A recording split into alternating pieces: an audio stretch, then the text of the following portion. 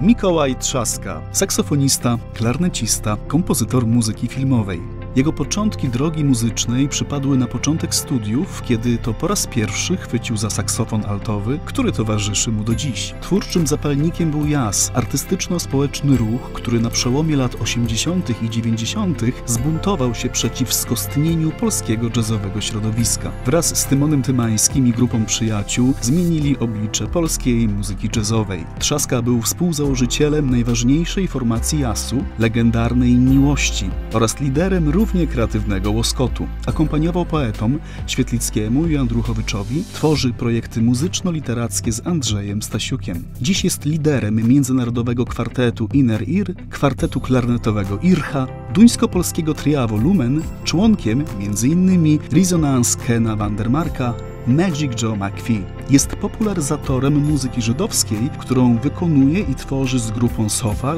przede wszystkim jednak realizuje się na gruncie radykalnego współczesnego jazzu free. Trzaska dał się poznać także jako kompozytor, pisząc muzykę do filmów Wojciecha Smarzowskiego. Dom Zły, Róża, Drogówka, Pod Mocnym Aniołem, Wołyń, Kler oraz Wesele 2. Jest członkiem Europejskiej i Polskiej Akademii Sztuki Filmowej, był wielokrotnie nominowany do Nagrody Paszportu Polityki, jest dwukrotnym laureatem Orłów, a także nagrody indywidualnej za muzykę na festiwalu w Gdyni. Współautorami autobiografii Mikołaja Trzaski są także jego rozmówcy. Tomasz Gregorczyk, dziennikarz i krytyk muzyczny, wieloletni współpracownik radiowej dwójki, m.in. program rozmowy improwizowane Czas na jazz, zastępca redaktor naczelnej kwartalnika Fragile. Publikował m.in. w Glissando, Ruchu Muzycznym, Jazz Forum, Twój Blues, magazynie Gitarzysta, Top Drummer, Muzyce w Mieście, Jazzarium. Jak sam powiedział, ceni sobie sztukę głębokiej analizy i interpretacji, ale preferuje klasyczną dziennikarską metodę zapytać u źródeł. Janusz Jabłoński, dziennikarz muzyczny specjalizujący się w jazzie i muzyce improwizowanej, współautor kilkuset wywiadów z improwizatorami. Jego teksty ukazywały się m.in. w Tygodniku Powszechnym, Ruchu Muzycznym, Jazz Forum, Glisandzie i Muzyce w Mieście. Od kilkunastu lat współpracuje z Radiową Dwójką, gdzie prowadzi regularne audycje muzyczne.